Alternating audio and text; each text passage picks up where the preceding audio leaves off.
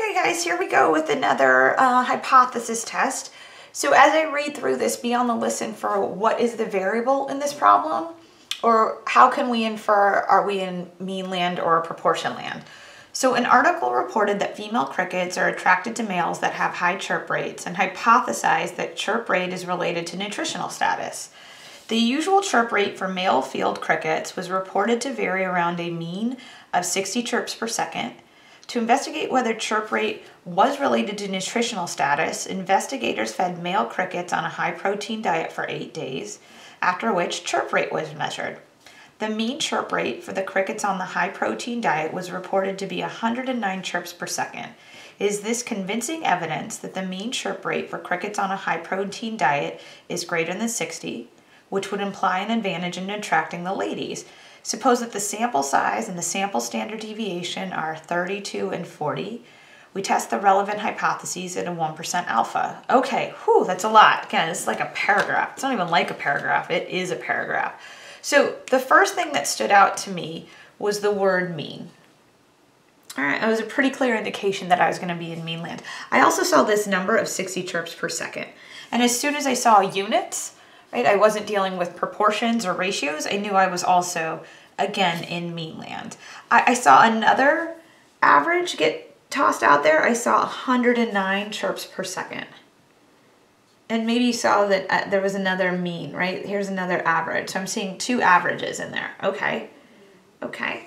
Um, I saw the word evidence, right? I'll just kind of underline that. As soon as I saw evidence, I knew I was going to run a hypothesis test. I saw again mean chirp rate. That was another thing that turned uh, that kind of stuck out to me. I saw greater than 60, right? Uh, and then of course they gave me sample size, sample standard deviation. So the 32 and the 40, those were good. I'll use the 1% alpha. So those to me are the important things that I saw floating around here. So I have 32 crickets, right? I said my sample size is 32 and the numerical variable amongst all of those is their chirp rate, right? Are these these crickets that have been hopped up on protein, are they chirping like crazy and attracting lady crickets? Well, let's find out. So I'm definitely in mean land. All right, it means I'm gonna use a t-test statistic. I also only have the one sample again. I, I, get that I have 32 crickets in that sample, but I only ran this experiment once. So we're gonna do one sample. Okay. Now, as we start to go through this, maybe you heard there were two averages, right? I heard an average of 60 and an average of 109. And when you're in these hypothesis test problems, whether you're in mean land or proportion land, you are given two of those things. And I know that's real technical to say two of those things. But what I mean is you're either given two means or two proportions. Now we're in mean land, we were given two means. One of these averages is the parameter. One of these averages is, is the statistic. And you have to discern which is which. All right, you want to use the parameter in your null and your alternate. And you want to save the statistic until you get to step 10. So let's try and figure this out. We're gonna go through our steps on our hypothesis test. All right, I'm gonna use technology to help me, but let's get, get our setup going. All right, so step one is to define a parameter. So I'm gonna define a mu, okay? So we got true average something, let's see. Mu is gonna equal the true average chirp rate and who are we talking about? We're talking about crickets on a high protein diet. True average chirp rate for crickets on a high protein diet.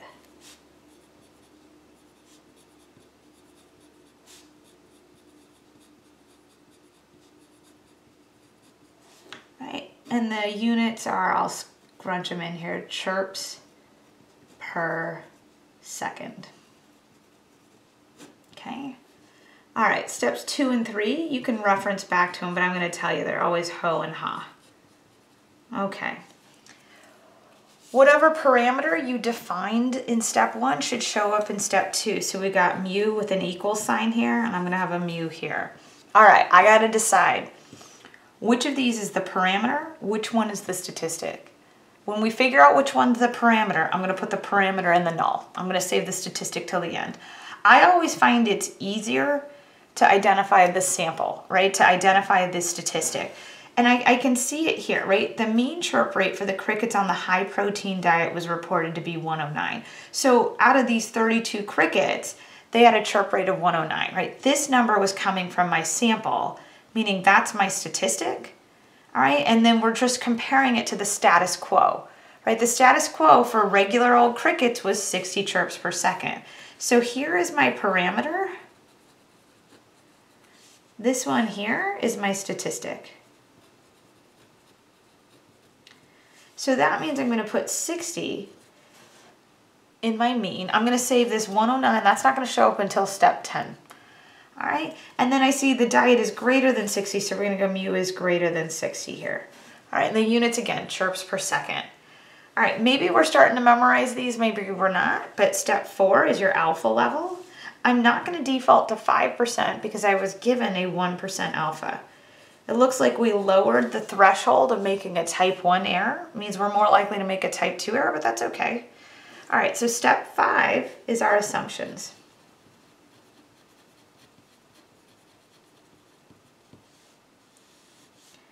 All right, so if I head back to that trait table, all right, that organizer that I'm using, my first assumption is did I have a random sample or did my sample represent my population? So let's see what we got going on here. So if I kind of buzz through this entire problem, there is nothing about these crickets being selected at random. And I don't know if you've ever been around crickets. My roommate used to have a frog, so we used to go buy crickets to feed the frog. Crickets are jumpy little critters and it is so hard to get a random sample of them. Like they're just flicking everywhere. It would be really difficult to assign each of them a number and then be like, okay, let me get my TI-84 calculator out and get a random sample. So it's okay that they're not random. Again, it's not a deal breaker, but I, I wouldn't even know how to bias my sample so that I had crickets uh, that I, I, I, selected crickets that would throw my results off. I mean, I'm just gonna pick a bunch of crickets, shove them full of protein and see how fast they're chirping.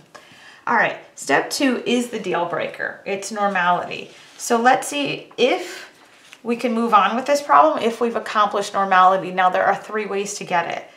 Let's see, was my population distribution stated to be normal? Well, if we go back through this giant paragraph, nowhere in there was the word normal, okay?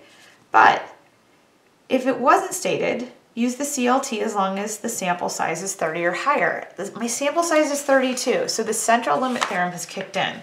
Great. I'm just going to take note of that. Okay. Now, step three, or I should say assumption three, is to identify your sample standard deviation. Well, I know my S, it was given to me. They told me my sample standard deviation was 40, so let me go ahead and write that in. S equals 40. And again, the units on this would have been chirps per second. Okay, great. I'm through my assumptions. Okay, so let's go back to our 13 steps. All right, again, maybe you have these memorized, maybe you don't, but maybe you're starting to memorize them. If you do enough of these, oh, you just, they become embedded in your head. All right, here we go. State the distribution. Well, we're in mean land. We're going to be on the t distribution. What's the name of the test? Well, I had one sample. I was in mean land, and I'm doing a t hypothesis test. For degrees of freedom, that's sample size minus 1. I had 32 crickets, so I have 31 degrees of freedom. All right, and then I can display the test statistic without any computation. So I'm going to do steps 6, 7, 8, and 9. Okay, and then we'll, we'll flip back to this paper. All right, so step six, again, state the distribution. I am on the t distribution. All right, step seven, state the name of the test. I have a one sample mean t hypothesis test. All right, step eight, the degrees of freedom are, well, I had, again, 32 crickets, so I have 31 degrees of freedom. There will be some folks that actually put a subscript of 31 here just to say that you're on the t distribution associated with 31 degrees of freedom. And then there are some other folks that'll just straight up say, well, this is 30 or higher, so I'm going to go on the z distribution. I, am not going to do that. I want a little bit more wiggle room, so I'll stay on the t distribution. All right, so let me scooch this up so we can get to step nine. Okay, so let's try and do step nine here. So step nine is my test statistic. So t will equal x bar minus mu in ratio to the standard error of s over square root n. Okay, great. Let's see, what was my sample mean? Well, I fed these crickets some protein and they were chirping up at 109 chirps per second. I hypothesized that it would be 60. My sample standard deviation is 40 and my sample size is 32. Right, and this is the beginnings of step 10. Okay, now it's at this point, I would go use technology to help me with the rest of my write-up. Okay, so I'm gonna hit the pause button right now. We're gonna flip over to your calculator. I'm gonna show you how you get all those numbers on your calculator. And then I'm gonna come back here and have my output screen inform my write-up from here on in. So I'll catch you in a bit. Bye. Hey Math 43, let's look at one more hypothesis test together. Um, this one will be slightly different from example 9 in that we don't have the raw data. Uh, we have summary statistics to help us get through this. So let's take a look at how our calculator screen can help us get steps 10, 11, and 12. And then again, I, have said this a few times, but it's, it's great to repeat. Uh, I always use technology to find steps 10, 11, and 12 first, and then I will use my calculator output screen to help me write up all 13 steps.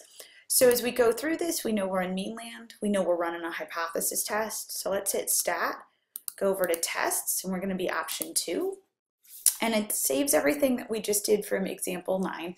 So let's swap this out now for example 10.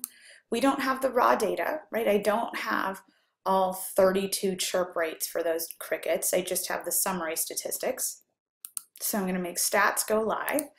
Um, and then our null hypothesis, um, again, for crickets that weren't on a high protein diet, their chirp rate was 60 chirps per second. All right, so that's the hypothesized mean. Our sample mean, we found out when we put them on a high protein diet, their chirp rate was actually 109 chirps per second. So they are chirping like crazy, right? Practically double, give them a little protein. Um, we were told that our sample standard deviation was 40 chirps per second. How many crickets did we have? Let's see. Oh, we had 32 crickets, so that was my sample size. And then here, again, I need to decide, do I have a two-tailed test, a left-tailed test, or a right-tailed test? And our alternate was the greater than version. So I do have a right-tailed test, and it looks like it's already highlighted. You can choose calculate or draw. I'm gonna go to calculate. And let's see, I have a pretty large test statistic, right? Seven. I mean, it's it's pretty hard to be seven standard deviations over the mean.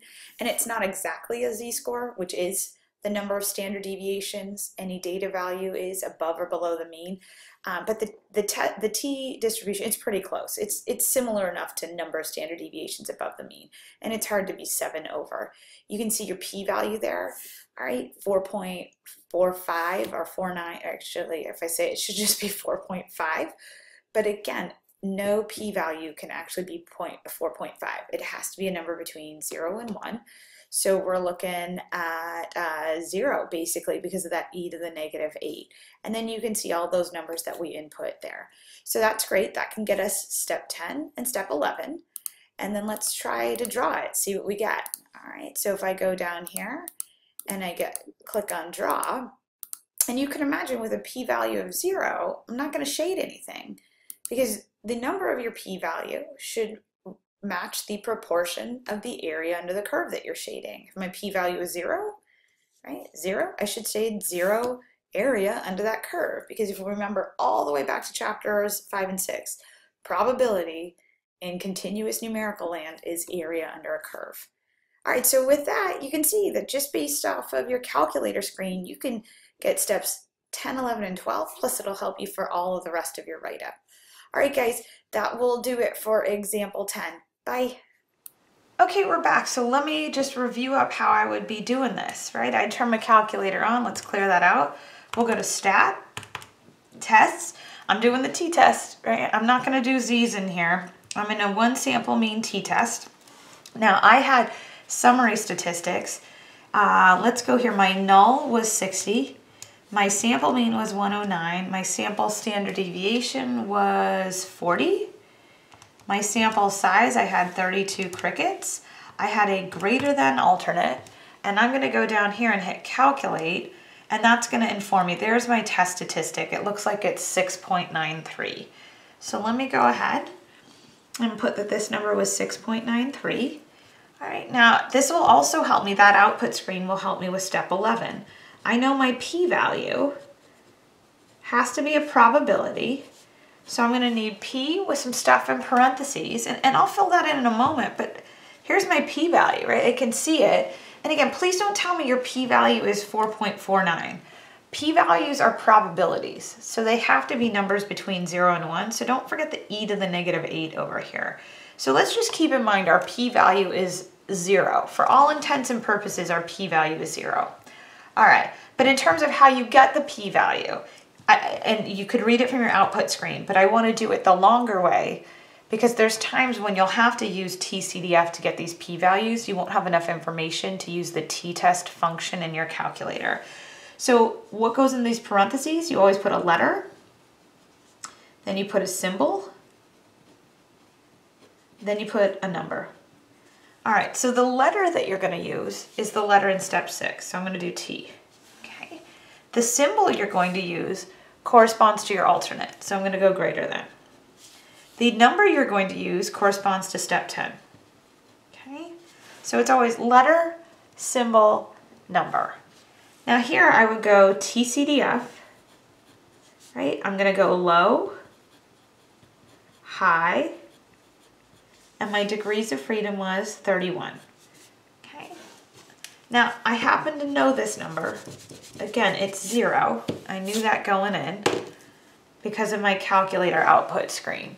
So that, that calculator output screen can tell me my p-value right out the gate. I know it's zero, but I really do think, not I think, it, you're going to need to know how to do this using TCDF because I will give you problems where you can't hit stat test 2. You're going to have to go TCDF. If we did TCDF here, you can see if I did 6.93 to infinity with 31 degrees of freedom, you can see that p-value is basically zero, right? 4.49. There's a slight discrepancy, right? This was 497, this is 493, but it's it's really, really close. All right, times 10 to the negative 8. So I got that. If I want to get my drawing going on for step 12, head down here, hit draw, and then it'll take a little while, but there comes my, my test, I mean, my, my distribution, right? Zero's under the peak, standard deviation of one, two, three for the most part. All right, so let me go ahead and draw this in. I'll put it here. So step 12, let me raise this up so we can see everything. All right.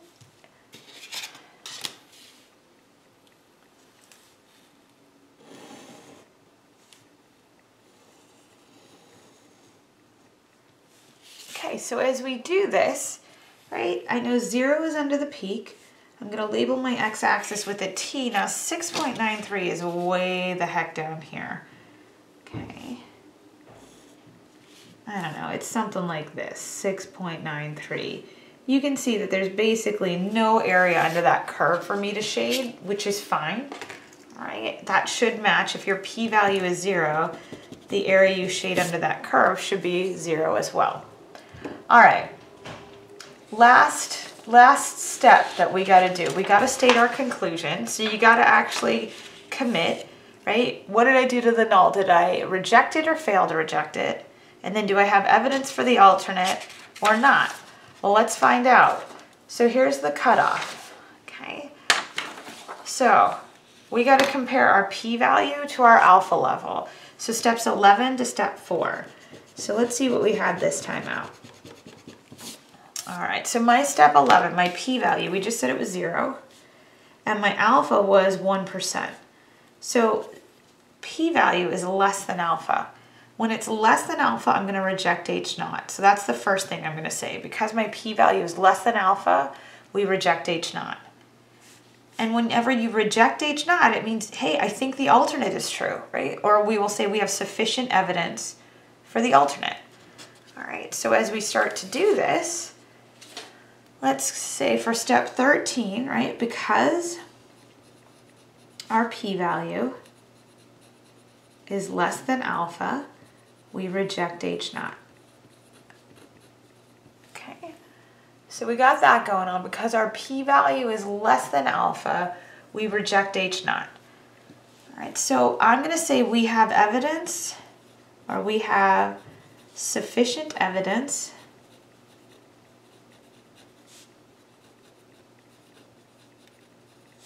for HA. And again, I don't want you to leave this as HA. Tell me what HA represents. So let's let's go find out what did HA, what was our alternate in this case?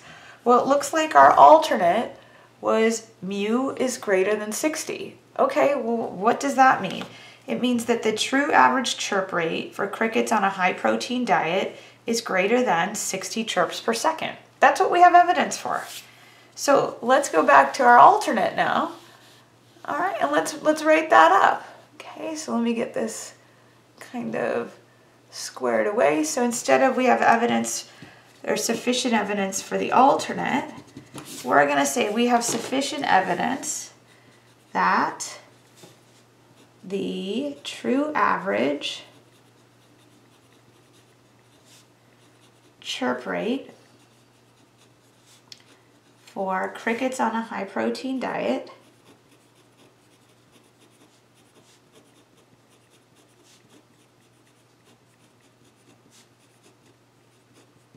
is greater than 60 chirps per second.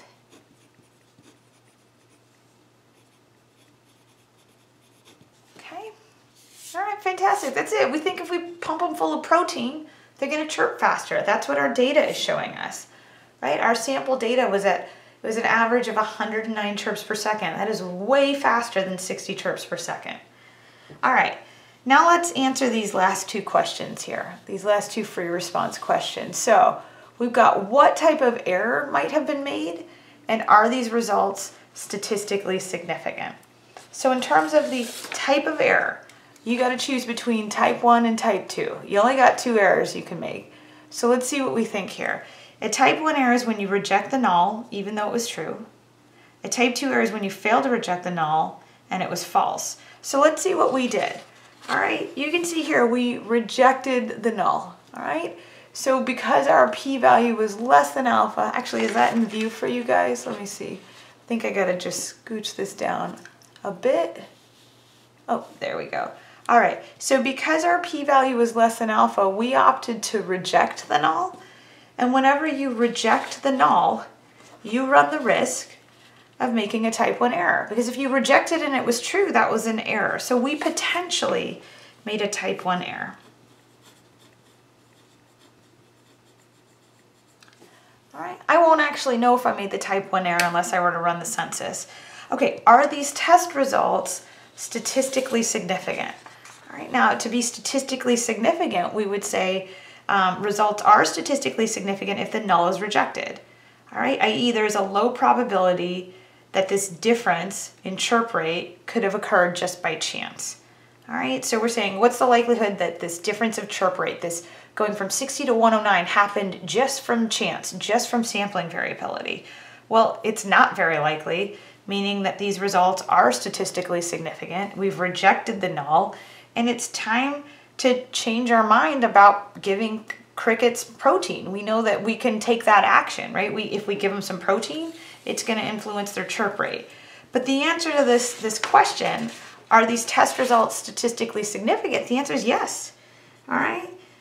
We have changed our mind. We have evidence that if I pump you full of protein, your chirp rate's going to go up, right? That's a new addition, all right? New findings in this experiment. All right, and this is the evidence to back that statement.